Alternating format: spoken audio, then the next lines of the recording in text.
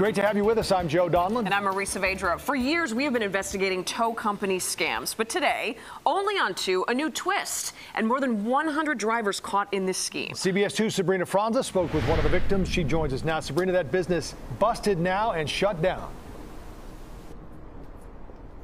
And we found out how those business owners have been doing this this whole time. We spoke with one victim who got her car out before, or after rather, the city stepped in and shut it down. 150 cars were towed from this lot. That victim says she was charged $3,600, all of that to her and to her insurance company. She had no idea how big this scam was until we gave her a call.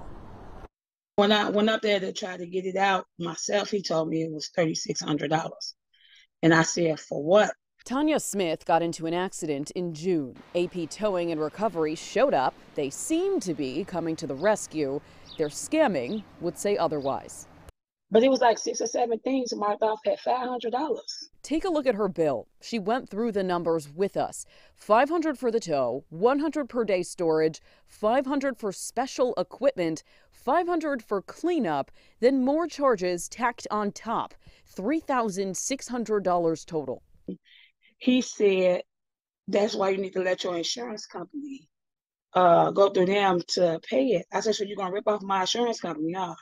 Another victim. This car had been there since June. Its owner told us off camera that after he got into an accident in June, AP Towing and Recovery took his car and held it for months. Its owner says they were told it was beyond repair, so he gave up the car. He had no idea his car was still there in one piece until we showed him this picture. Sources tell CBS 2 that AP Towing and Recovery would do this over and over again, charge car owners and insurance companies exorbitant fees to get their cars back, many times holding them longer than necessary. Often, the bill was so high that they'd convince owners to sell their cars altogether. All this while operating illegally on a city owned lot. I think they should they should reimburse all all the customers they should do some type of jail time. Chicago Business Affairs and Consumer Protection with other agencies worked to shut them down, and a cease and desist order was issued on June 30th. The company neither ceased nor desisted. Then Monday, six tow trucks at AP Towing were towed. The lot locked up.